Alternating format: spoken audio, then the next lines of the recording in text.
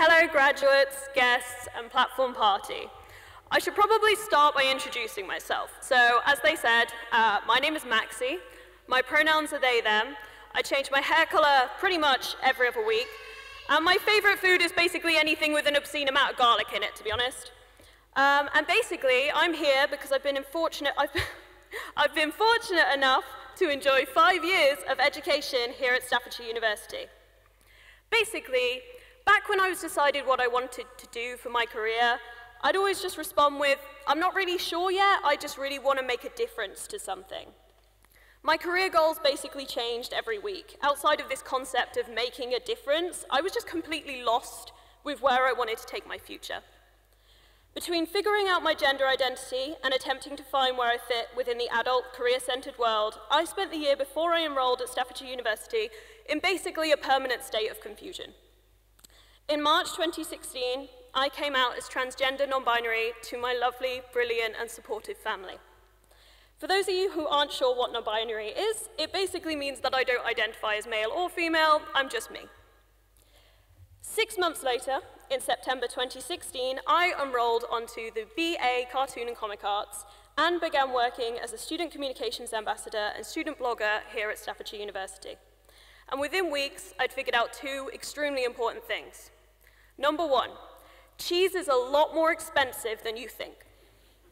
And number two, the staff at this university are some of the most incredible, supportive people I've ever met. With the help of the Staffordshire University community, I graduated with not only a first class honours in cartoon and comic arts, but also a master's in esports. But on top of this, I was also given the opportunity to do and be so much more. Over the last five years, I've self-published two comic books, sold my work at the biggest comic convention in the UK, helped four years' worth of prospective students enter the university through clearing, hosted a graduation live stream show, grown my online presence to over 200,000 followers, presented four award ceremonies, met and interacted with people of all different ages, experiences, and backgrounds, and been able to share this whole student journey across the uh, Staffs Uni social media platforms. I couldn't have done any of these things without Staffordshire University. Between my courses and my job, staffs encouraged me to grow, not only as a professional, but as a person, allowing me to be unapologetically me, publicly and safely. So, if I'm a cartoon and comic arts and esports graduate, why am I stood up here during a life sciences and education ceremony? Well, because the members of staff that I mentioned earlier, they didn't just help me to fulfill my potential, they also inspired me to pursue what I now see as one of the most powerful career paths, education.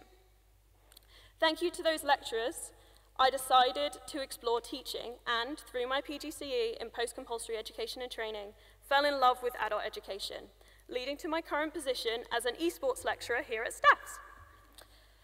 So yes, when I was deciding what career I wanted to pursue, I'd always respond with, I don't know yet, I just want to make a difference to something. And today I can say with confidence that Staffordshire University has helped me to achieve that. So I think I speak on behalf of every graduate in this room when I say a massive thank you to our amazing lecturing staff.